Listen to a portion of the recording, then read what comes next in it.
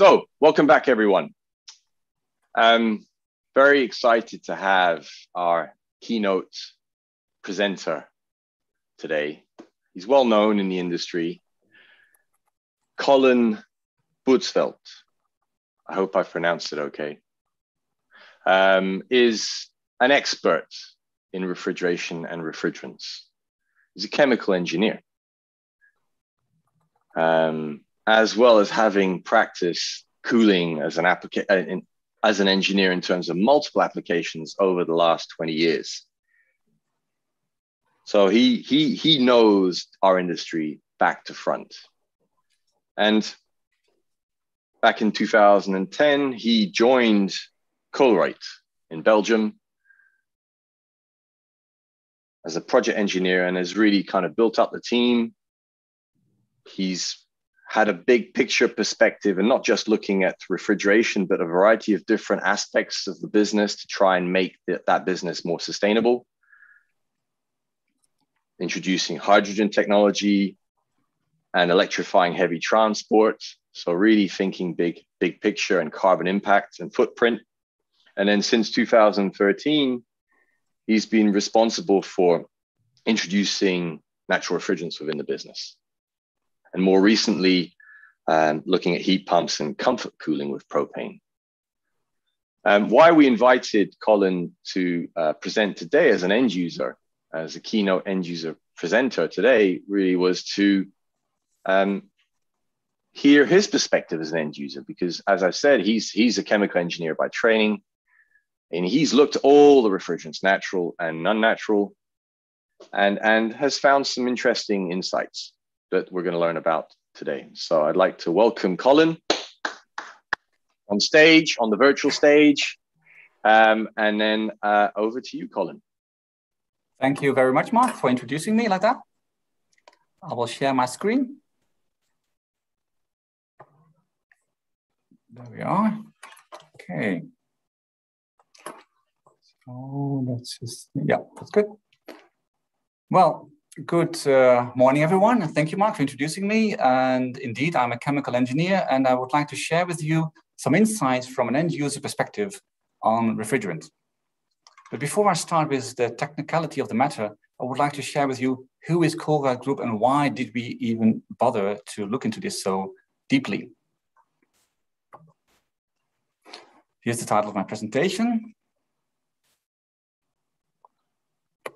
But who is the end user? You see, the end user for Colruyt Group is the lady shopping in our supermarkets. Or maybe we should talk about her child that is eating our products that we sell. So that is the end user in our perspective. Yet Colruyt Group, of course, as a company, is an end user of refrigeration equipment and also of refrigerants. So we are the end user in the refrigeration industry. You can see, by the way, that this lady is inside a famous cold room. This is a very special way of cooling and is very efficient, much more efficient than refrigerated cabinets, which we also use for, from time to time. But Colruyt Group is more than that. Colruyt Group is also a wholesaler.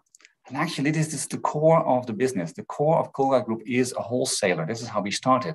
And if you go to the supermarkets in Belgium today, the Colruyt supermarkets, you will see that they kind of look like a distribution center. This is because that the racks that are in those shops come originally from the distribution center. So they are much more, much heavier, much larger than you would expect normally in a supermarket. But we are, we are also a wholesaler for independent supermarkets. Further on the line, Colruyt Group is also a distributor and a producer of energy. What you see here in the picture is a hydrogen filling station. This is uh, close to our headquarter in uh, Halle, and at this location, as you can see actually the pictures on the white box there, on this location, we have wind turbines, solar panels on the roof, and a production facility that transforms that electricity into hydrogen. And that very hydrogen you can use here to fill up a car. So Colruyt Group has a, a number of uh, passenger cars uh, already on hydrogen, also testing uh, uh trucks with hydrogen.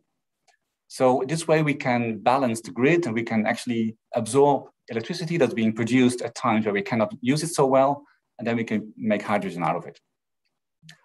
But also Colruyt Group produces its own electricity in the North Sea, wind turbines on land, on all the roofs of, on the roofs of our supermarkets. And we also sell that publicly.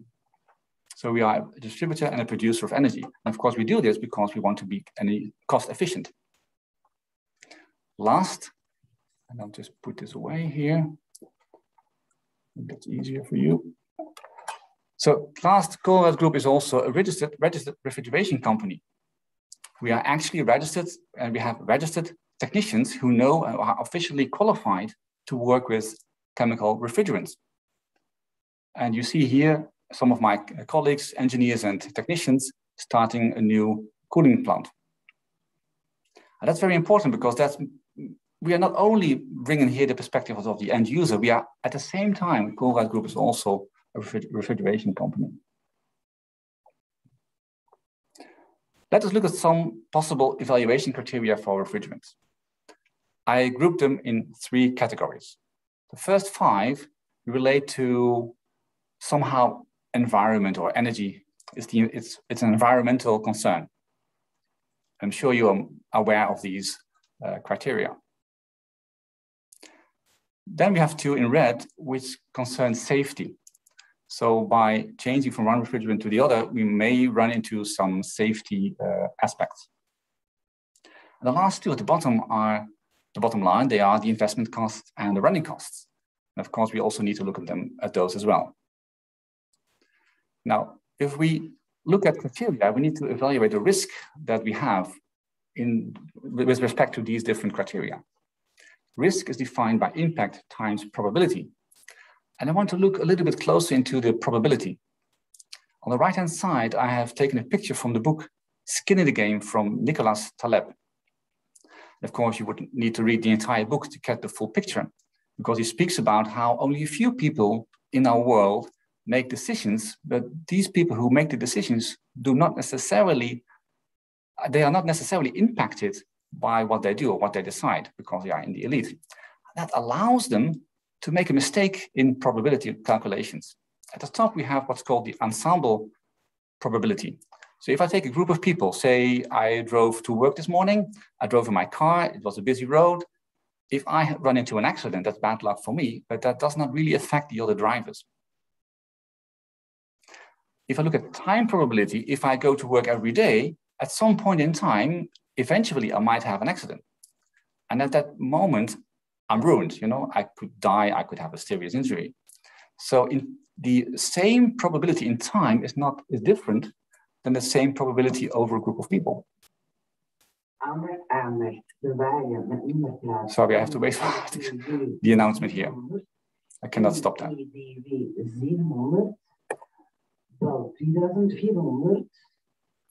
Let us look at the total equivalent warming impact. Well, this is live, you know, uh, so I can't stop this. It's great. It's great. It's great. Don't somebody's worry. badly parked here, and I cannot some, close it. Some somebody's badly parked, or at least they got to the office, right? They didn't have an accident. That's the good news. Indeed. So let us look at the uh, total equivalent warming impact as one of the as the balance between energy efficiency and global warming potential. This is the definition that I took from the standard EN 378. So it's a combined effect of the direct and indirect emissions. And the indirect emissions are the emissions from the power to, uh, that is needed to run the cooling machine. But there is a sentence below it, and it says, it is only valid for comparing alternative systems or refrigerant options for one application in one location. That's what the standard says. And I find that this discussion of total equivalent warming impact is being used too generally. This is a quote from the, a website from Atmosphere. I'll let you read it. So the International Institute of Refrigeration suggests here that somehow there might be a trade-off between reducing the global warming potential of refrigerants and the energy efficiency. This is just a variation that I hear in all sorts of ways. Yes, we not only should we look at the global warming potential of refrigerants, we should also look at the energy efficiency. I immediately contacted uh, Michael Garry of uh, Atmosphere to say something is missing here because, in my opinion, natural refrigerants are the most efficient refrigerants anyway. So there is no trade-off. Okay, this is a graph that looks at the lifetime carbon emissions from a Bio-Planet store. This is a calculation we made in 2016. And I did not bother to recalculate it with the latest numbers. It shows on the vertical axis the emissions in carbon, carbon CO2. On the left-hand side, our classical solution, and on the right-hand side, the propane solution. As you can see, we have a blue bar here that talks about the leakage. At the time, we calculated the leakage of 5%, which is very good. For, the for this year and the last year, we are coming at 3.5% on average. That's very good. We also assumed uh, recycling loss, you know, at the time when you somehow uh, uh, uh, take away the old cooling installation, you might lose something. Our actual loss at the moment is 8% at that moment. At the, at the very top, you see a very small green line, which is the energy use. Why is that? If you look at the 2021 uh, data for Belgium, and you compare the carbon intensity of the, the, the electricity, electricity grid in Belgium and you compare that with the electricity that Colruyt uses, there's a difference. So the assumption that the energy efficiency is important in, in the sense of climate emissions, that's only relevant as long as you use dirty electricity. But as you know, we have the Paris Agreement, we have the EU Green Deal, Marc just mentioned the IPCC report. There's no way we can continue with dirty electricity. It's not happening. In fact, photovoltaic panels are already cheaper than oil in a lot of occasions. So it's happening anyway. And you cannot take the emission numbers for electricity from the past and then project that into the future. At the top, I listed a few different ways to look at the global warming potential. As you can see, if we look at the old assessment report, which is the basis of the EU F-gas regulation, R507 had a number of almost 4,000 and propane had a number of almost three. With the new assessment report, these numbers are, have gone, further apart. But also we need to look at the 20 year number because we need to solve this climate crisis in the next 10 to 20 years. We cannot wait 100 years. I always compare to my family, uh, what happens if we lose one kilogram of the old refrigerant? And that's just as bad as driving around the, the planet with an efficient car, with a small car. But even if we look at the greenhouse gas emissions, we also need to look at production and uh, breakdown products, because the, even in the very good IPCC report, the global warming potential numbers are single component numbers. They do not look into emissions during production, and they also forget that these products that come into our world will break down into secondary products. In fact, if you look into the new latest refrigerants, the HFOs, they are unstable in the uh, atmosphere. This is why they have a low global warming potential, but then they break down into something more stable. And I've added a resource here, and I would uh, recommend to read it because this is a very good summary of what I'm talking about.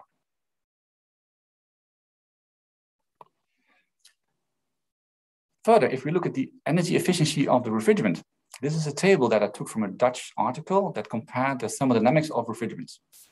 And of course, this table is the result of calculations and assumptions that have been made. And of course, you need to read the entire article to, be, to get all the, the, the, the total picture. But I'm using it to make the point that if you look at the coefficient of performance, the efficiency, it's almost the same for every refrigerant.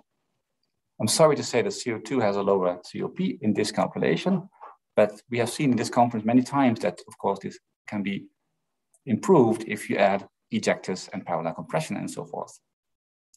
You can also see that the evaporation energy, QE, is the highest for, for ammonia.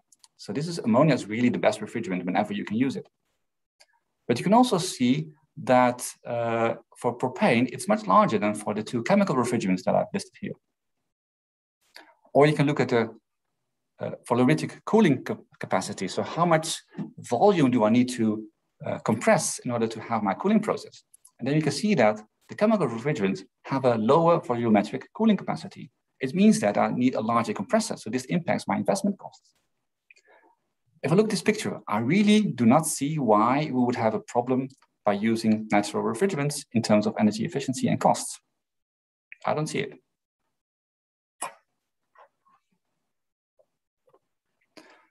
Now, let us look at the other non-climate change environmental impacts.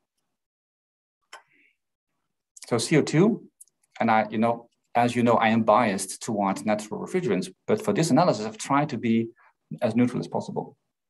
For CO2, we have the climate impact, but I cannot think of any other problem with CO2. Yes, maybe the pressure, but it's been handled. If we look at ammonia, I'm trying to make an estimate of the leaks from refrigeration plants in Belgium. There are no numbers on the number of plants or the emissions available, but my best estimate arrives at 0.2%, 0.02% of the total emissions in Belgium, the largest part being, of course, cattle. If we look at hydrocarbons, in theory, they cause smog, but hydrocarbons being so flammable, I'm sure people will make a great deal of effort to make sure that they these refrigerants stay in the cooling machine. Otherwise, the cooling machine wouldn't work and it would be dangerous. And if we look at paint, if we look at our cars, petrol use, I'm convinced that there are many other sources of hydrocarbons in our uh, air, not, and not uh, that refrigerants are really not the main factor. But if we look at HFOs and HFCs, we did notice a few surprising points. Well, this is a graph that we've made based on the data that you and I, you can all find publicly. And this is the type of graph that we see frequently in brochures selling A2L refrigerants. What you see on the vertical axis is the lower flammability limit. And on the horizontal axis, you will see the flame speed. As you can see, the A2L chemical refrigerants appear at the top of the graph, ammonia very close to the red line, at 0.1 kilogram per cubic meter. And of course, the hydrocarbons appear below that line. But the point is that this is based, the threshold here is based on an old threshold between category two and category three refrigerant.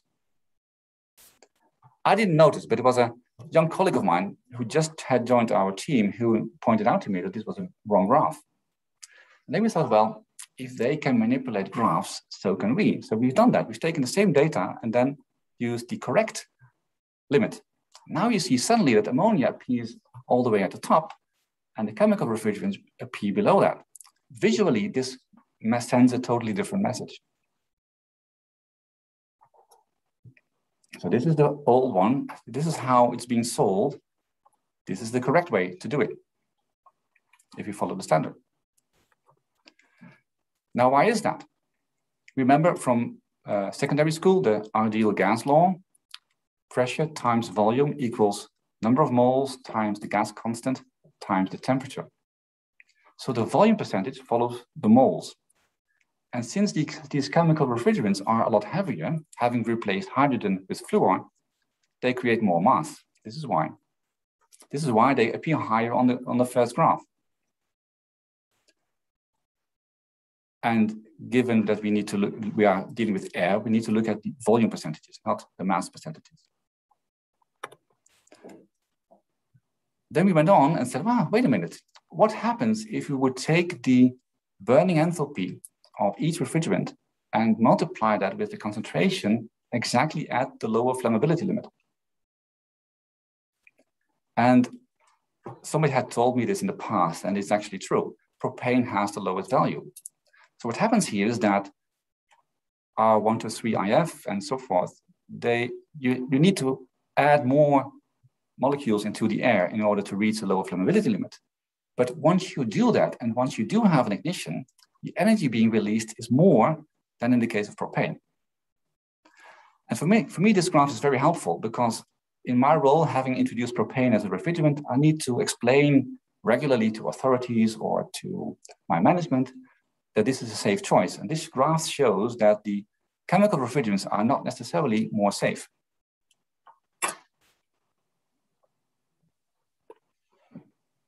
Now, let us look at the flame speed, the other part of the graph. How relevant is the flame speed? This is a report written by a laboratory in the United States, and it says the following. I'll let you read it.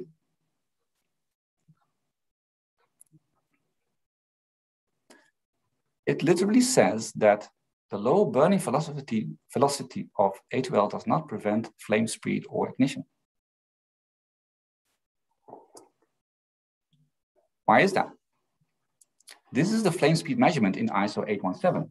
It's a 40 millimeter tube. And if I compare a 40 millimeter tube, this does not look like a refrigerated cabinet. Our shop does not look like a 40 millimeter tube.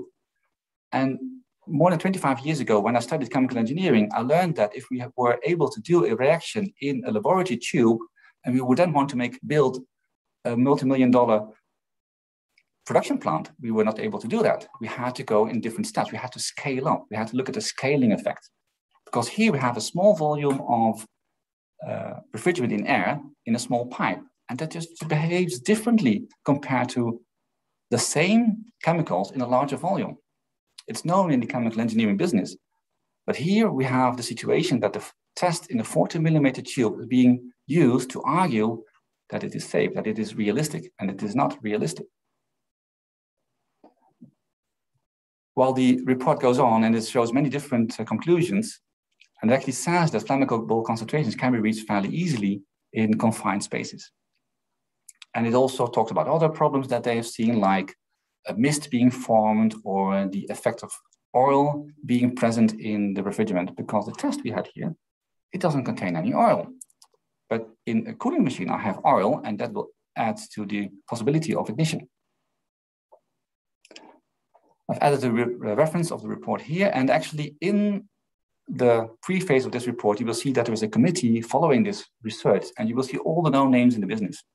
So this is known.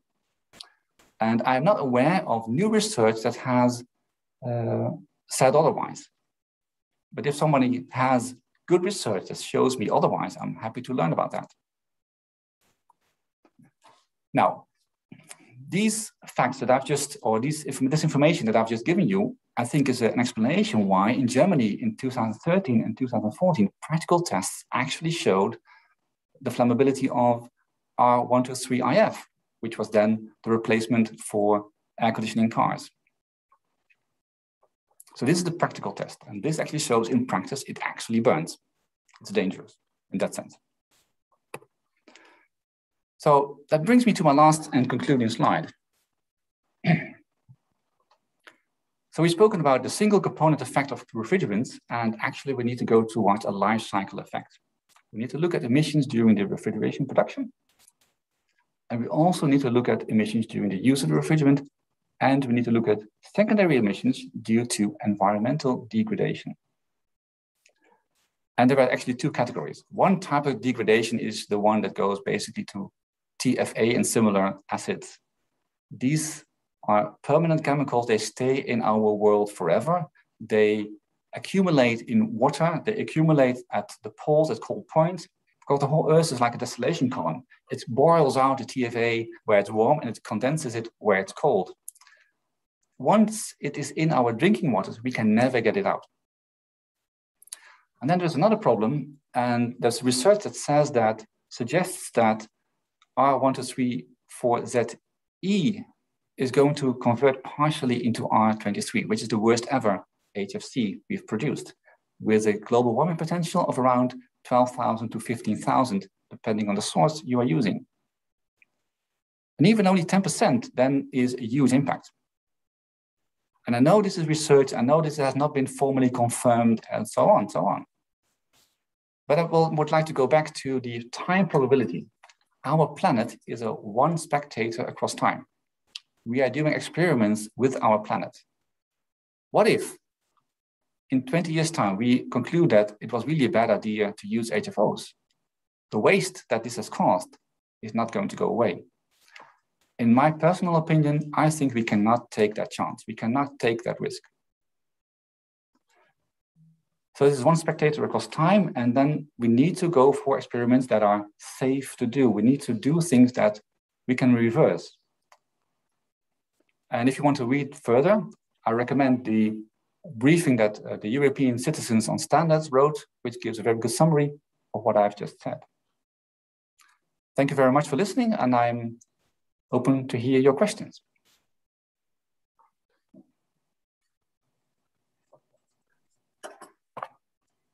Thank you, Collin, uh, for a great presentation. Um, we'll just wait for people to uh, submit some questions in the box next to the live stream, bottom right, for those of you that are watching this right now. There's a there's a few second time lag, so I'll wait for those to pop up. There was a little, I guess this is a joke. well, no, uh, from Louisa, one of our uh, uh, media partners, saying, "Collin, no men in your end user perspective."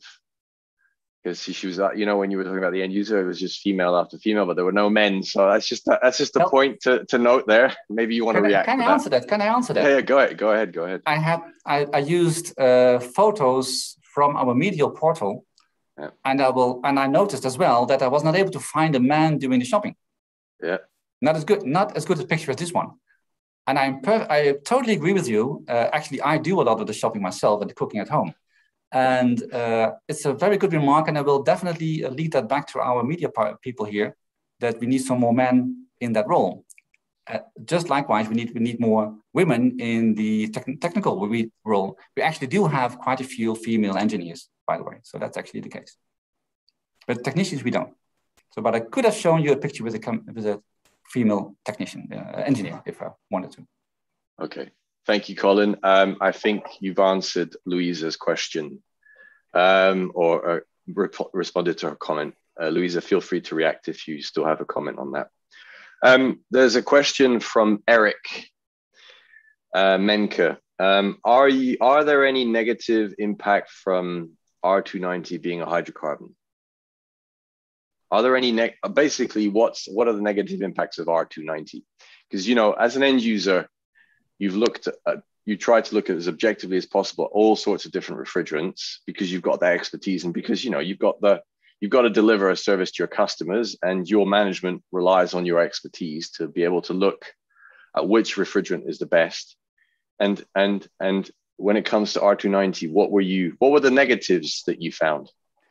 Okay because propane is flammable you cannot use this and use it in very large quantities which means that for our cooling systems we need to work indirectly which means we need a cold glycol to pump that to our cooling uh, refrigerated cabinets and then, of course, the transfer of energy from the propane towards the, the, the secondary medium, we lose some efficiency. We have a delta T.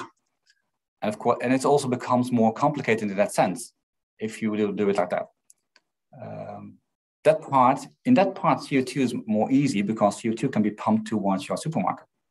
But then again, the, the, the cooling machine for CO2 is much more complicated than the cooling machine for propane because the propane cooling machine is practically identical to one with an HFC.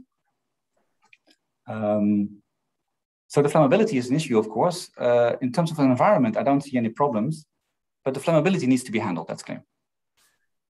Okay, thank you. Um, we've got two minutes left for the, before the next session. So I, I have a question for you, um, unless someone slips in another question in the meantime. Um, but you're basically saying that these HFOs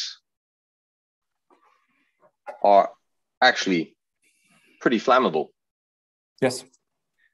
And the way they've been communicated uh, in the marketplace is to downplay that, uh, yeah. to misinform. Doesn't that concern you as an end user? That they're trying that maybe there's a deliberate action here? It does, in fact, and I didn't mention that, but you need to consider that if you look at the amount of refrigerant that I'm allowed to use, uh, following all the standards, then this amount follows the lower flammability limit. So if the flow of lower flammability is higher, then I'm allowed to use more of an A2L than an A3 refrigerant. And then, or and even the standards even go beyond that. I am one of the three people in Belgium actually actively voting the TC61 on standards because nobody actually votes, nobody's present. And that's a too small a number. And so this story is being told by people who have a, have a vested interest. Okay. Um, I got my colleagues telling me we've just got a few seconds left. So I'd like to um, give a round of applause to Collin. Um, there was one good question coming, but unfortunately, we've run out of time. Um, hopefully, you'll be able to answer that directly within the chat in, in SwapCard. Okay. Um, but yes, thank you, Collin, for taking the time. You're welcome. I wish we'd been able to have you uh, do this in person, but hopefully next year. In the meantime, obviously, we'll see you later on the end user panel. So thank you okay. again, Collin, and see You're you welcome. later. Thank you, everyone. We're now going to log off. And next, uh, my colleague Alana will take over to welcome um, our uh, technology uh, uh, uh, technology